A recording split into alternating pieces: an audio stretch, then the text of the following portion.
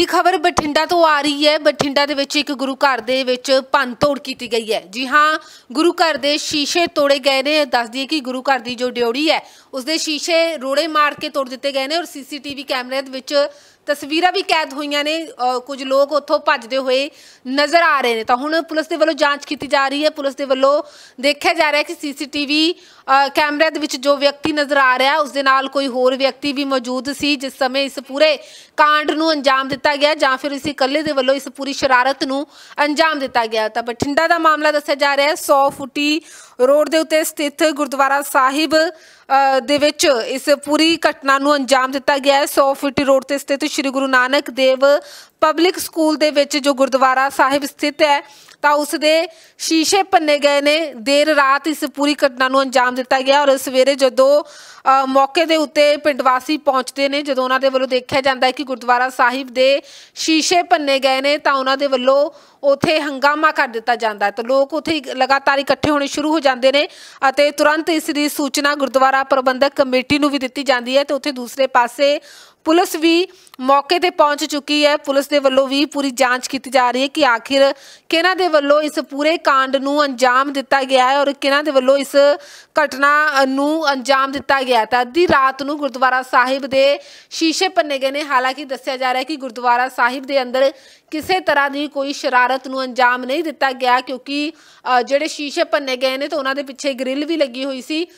ਤਾਂ ਸ਼ਾਇਦ ਸ਼ੀਸ਼ੇ ਇਹਨਾਂ ਲੋਕਾਂ ਦੇ ਵੱਲੋਂ ਭੰਨ ਦਿੱਤੇ ਗਏ, ਪਰ ਗੁਰਦੁਆਰਾ ਸਾਹਿਬ ਦੇ ਵਿੱਚ ਐਂਟਰੀ ਉਹ ਨਹੀਂ ਕਰ ਸਕੇ, ਜਿਸ ਕਰਕੇ ਕੋਈ ਘਟਨਾ ਨੂੰ ਅੰਜਾਮ ਨਹੀਂ ਦਿੱਤਾ ਜਾ ਸਕਿਆ। ਤਾਂ ਉੱਥੇ ਹੀ ਪੁਲਿਸ ਦੇ ਵੱਲੋਂ ਜਾਂਚ ਸ਼ੁਰੂ ਕਰ ਦਿੱਤੀ ਗਈ ਹੈ ਕਿ ਆਖਿਰ ਕਿਹਨਾਂ ਦੇ ਵੱਲੋਂ ਇਹ ਸ਼ੀਸ਼ੇ ਭੰਨੇ ਗਏ ਨੇ।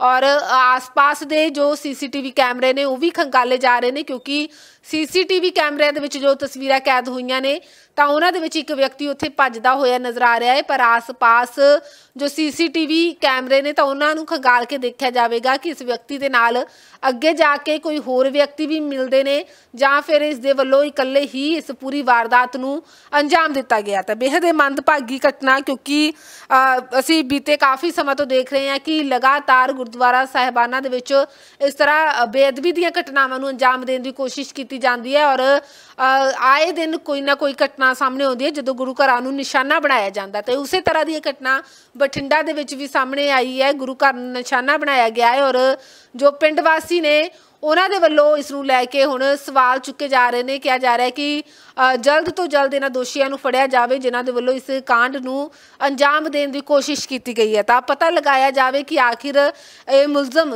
ਇਹਨਾਂ ਦੇ ਵੱਲੋਂ ਸ਼ੀਸ਼ੇ ਭੰਨੇ ਗਏ ਨੇ, ਤਾਂ ਇਹਨਾਂ ਦਾ ਅਸਲ ਮਕਸਦ ਕੀ ਸੀ? ਕਿ ਗੁਰੂ ਘਰ ਦੇ ਵਿੱਚ ਦਾਖਲ ਹੋ ਕੇ ਇਹ ਕਿਸੇ ਵਾਰਦਾਤ ਨੂੰ ਅੰਜਾਮ ਦੇਣਾ ਚਾਹੁੰਦੇ ਸੀ? ਜਾਂ ਜਾਣ ਬੁੱਝ ਕੇ ਸਿਰਫ ਲੋਕਾਂ ਦੇ ਵਿੱਚ ਡਰ ਦਾ ਮਾਹੌਲ, ਦਹਿਸ਼ਤ ਦਾ ਮਾਹੌਲ ਪੈਦਾ ਕਰਨ ਲਈ ਹੀ ਇਹਨਾਂ ਦੇ ਵੱਲੋਂ ਇਸ ਪੂਰੀ ਘਟਨਾ ਨੂੰ ਅੰਜਾਮ ਦਿੱਤਾ ਗਿਆ ਤਾਂ ਇਸ ਮਾਮਲੇ ਦੇ ਵਿੱਚ ਪਿੰਡ ਵਾਸੀਆਂ ਦਾ ਕੀ ਕਹਿਣਾ ਹੈ? ਪਿੰਡ ਵਾਸੀਆਂ ਦੇ ਵਿੱਚ ਰੋਹ ਦੀ ਲਹਿਰ ਨਜ਼ਰ ਆ ਰਹੀ ਹੈ ਔਰ ਉੱਥੇ ਦੂਸਰੇ ਪਾਸੇ ਪੁਲਿਸ ਮੌਕੇ ਤੇ ਪਹੁੰਚ ਚੁੱਕੀ ਹੈ ਤਾਂ ਪੁਲਿਸ ਦੇ ਵੱਲੋਂ ਹੁਣ ਤੱਕ ਇਸ ਪੂਰੇ ਮਾਮਲੇ ਦੇ ਵਿੱਚ ਕੀ ਕਾਰਵਾਈ ਕੀਤੀ ਗਈ ਹੈ? ਤੁਹਾਨੂੰ ਉਹ ਵੀ ਦਿਖਾ ਦਿੰਦੇ ਹਾਂ। ਰਾਤ ਕੋਈ ਬੰਦਾ ਸਾਡੀ ਦਰਸ਼ਨੀ ਡਿਊਟੀ ਦੇ ਦੋ ਜੋ ਬਾਹਰ ਸ਼ੀਸ਼ੇ ਲੱਗੇ ਆ, ਉਹਨਾਂ ਨੂੰ ਤੋੜ ਗਿਆ। ਅਸੀਂ ਸਵੇਰੇ ਪੁਲਿਸ ਨੂੰ 5 ਵਜੇ ਕੰਪਲੀਟ ਕਰਤੀ ਤੇ ਉਹ ਇਹਦਾ ਤਹਿਕੀਕਾਤ ਕਰ ਰਹੇ ਆ? ਜੋ ਵੀ ਸਾਨੂੰ ਉਹ ਦੱਸਣਗੇ ਅਸੀਂ ਤੁਹਾਡੇ ਸਾਹਮਣੇ ਕਰ ਦਿਆਂਗੇ। ਪ੍ਰਧਾਨ ਜੀ ਅ, ਹੋਰ ਕੋਈ ਨੁਕਸਾਨ? ਹੋਰ ਕੋਈ ਨੁਕਸਾਨ ਨਹੀਂ ਜੀ ਕੋਈ ਬੇਅਦਬੀ ਨਹੀਂ ਕੋਈ ਕੁਝ ਨਹੀਂ ਹੋਇਆ ਕੋਈ ਗੋਲਕ ਦਾ ਕੋਈ ਕੋਈ ਕੁਝ ਨਹੀਂ ਹੋਇਆ ਜੀ। ਸੀਸੀਟੀਵੀ ਕੈਮਰੇ ਫੋਲਦੇ ਵੀ? ਹਾਂਜੀ ਉਹ ਲੱਗੇ ਆ ਜੀ।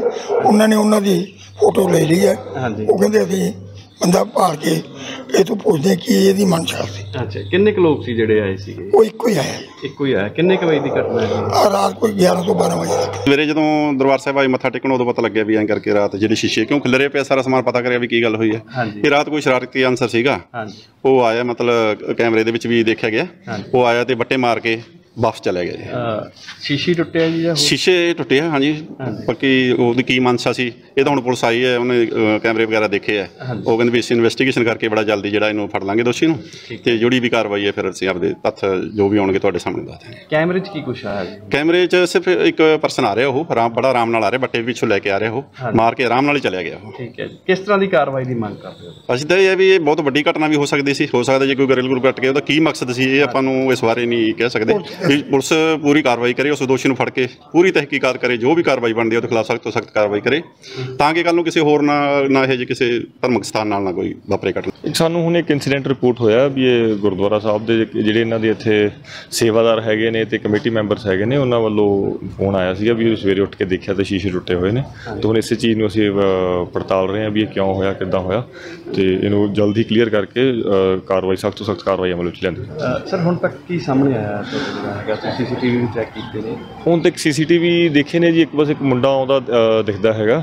ਬਾਕੀ ਅੱਗੇ ਉਹ ਕਿਹੜੇ ਪਾਸੇ ਆਇਆ ਉਹਦੇ ਨਾਲ ਕੌਣ ਸੀ ਜਾਂ ਕੋਈ ਇਨਵੋਲਡ ਹੈ ਜਾਂ ਕੀ ਹੈ ਉਹਨੂੰ ਉਥੋਂ ਥੋੜਾ ਜਿਹਾ ਵੈਰੀਫਾਈ ਕਰਕੇ ਜੀ ਕਲੀਅਰ ਕਰਕੇ ਜਲਦੀ ਤੁਹਾਨੂੰ ਅਸੀਂ ਕਾਰਵਾਈ ਕਰਕੇ ਤੇ ਸਾਰੀ ਡਿਟੇਲ ਸ਼ੇਅਰ ਕਰ ਦਾਂਗੇ। ਸਰ ਨੁਕਸਾਨ ਕਿੰਨਾ ਹੈ ਸਿਰਫ ਸ਼ੀਸ਼ੇ ਆਪਣੇ ਗੁਰਦੁਆਰਾ ਸਾਹਿਬ ਜਿੱਦਾਂ ਤੁਸੀਂ ਦੇਖ ਰਹੇ ਹੋ ਕਿ ਮੇਨ ਆਪਣੇ ਰੋਡ ਤੇ ਸਾਈਡ ਜਿਹੜਾ ਸ਼ੀਸ਼ਾ ਹੈਗਾ ਇਹੀ ਟੁੱਟਿਆ ਹੋਇਆ। ਬਾਕੀ ਅੰਦਰੋਂ ਕੋਈ ਇਦਾਂ ਦੀ ਗੱਲਬਾਤ ਹੈ ਨਹੀਂ। ਅੰਦਰ ਇਹਨਾਂ ਦੇ ਸੇਵਾਦਾਰ ਵਗੈਰਾ ਸਾਰੇ ਗੁਰਦੁਆਰਾ ਸਾਹਿਬ ਦੇ ਅਸੀਂ ਕਮੇਟੀ ਦੇ ਮੈਂਬਰ ਆ ਸੇਵਾਦਾਰ। ਰਾਤ ਕੋਈ ਬੰਦਾ ਸਾਡੀ ਦਰਸ਼ਨੀ ਡਿਊਟੀ ਤੇ ਦੋ ਜੋ ਬਾਹਰ ਸ਼ੀਸ਼ੇ ਲੱਗੇ ਆ ਉਹਨਾਂ ਨੂੰ ਤੋੜ ਗਿਆ। ਅਸੀਂ ਸਵੇਰੇ ਪੁਲਿਸ ਨੂੰ 5 ਵਜੇ ਕੰਪਲੀਟ ਕਰਤੀ ਤੇ ਉਹ ਇਹਦਾ ਤਹਿਕੀਕਾਤ ਕਰ ਰਹੇ ਆ। ਜੋ ਵੀ ਸਾਨੂੰ ਉਹ ਦੱਸਣਗੇ ਅਸੀਂ ਤੁਹਾਡੇ ਸਾਹਮਣੇ ਕਰ ਦਿਆਂਗੇ। ਪ੍ਰਧਾਨ ਜੀ ਹੋਰ ਕੋਈ ਨੁਕਸਾਨ? ਹੋਰ ਕੋਈ ਨੁਕਸਾਨ ਨਹੀਂ ਜੀ ਕੋਈ ਬੇਅਦਬੀ ਨਹੀਂ ਕੋਈ ਕੁਝ ਨਹੀਂ ਹੋਇਆ ਕੋਈ ਗੋਲਕ ਦਾ ਕੋਈ ਕੋਈ ਕੁਝ ਨਹੀਂ ਹੋਇਆ ਜੀ। ਸੀਸੀਟੀਵੀ ਕੈਮਰੇ ਫੁੱਲਦੇ ਵੀ? ਹਾਂਜੀ ਲੱਗੇ ਆ ਜੀ। ਉਹਨਾਂ ਨੇ ਉਹਨਾਂ ਦੀ ਫੋਟੋ ਲੈ ਲਈ ਹੈ। ਉਹ ਕਹਿੰਦੇ ਅਸੀਂ ਬੰਦਾ ਭਾਲ ਕੇ ਇਹ ਤੋਂ ਪੁੱਛਦੇ ਕੀ ਇਹਦੀ ਮਨਸ਼ਾ ਸੀ। ਅੱਛਾ ਕਿੰਨੇ ਕੁ ਲੋਕ ਸੀ ਜਿਹੜੇ ਆਏ ਸੀਗੇ? ਉਹ ਇੱਕੋ ਹੀ ਆਇਆ ਇੱਕੋ ਹੀ ਆਇਆ ਕਿੰਨੇ ਕੁ ਵਜੇ ਦੀ ਘਟਨਾ ਹੈ? ਜੀ? ਆ ਰਾਤ ਕੋਈ 11 ਤੋਂ 12 ਵਜੇ ਤੱਕ। ਸਵੇਰੇ ਜਦੋਂ ਦਰਬਾਰ ਸਾਹਿਬ ਆਏ ਮੱਥਾ ਟੇਕਣ ਉਦੋਂ ਪਤਾ ਲੱਗਿਆ ਵੀ ਐਂ ਕਰਕੇ ਰਾਤ ਜਿਹੜੇ ਸ਼ੀਸ਼ੇ ਕਿਉਂ ਖਿਲਰੇ ਪਿਆ ਸਾਰਾ ਸਮਾਨ ਪਤਾ ਕਰਿਆ ਵੀ ਕੀ ਗੱਲ ਹੋਈ ਹੈ। ਹਾਂਜੀ। ਇਹ ਰਾਤ ਕੋਈ ਸ਼ਰਾਰਤੀ ਅਨਸਰ ਸੀਗਾ। ਹਾਂਜੀ। ਉਹ ਆਇਆ ਮਤਲਬ ਕੈਮਰੇ ਦੇ ਵਿੱਚ ਵੀ ਦੇਖਿਆ ਗਿਆ।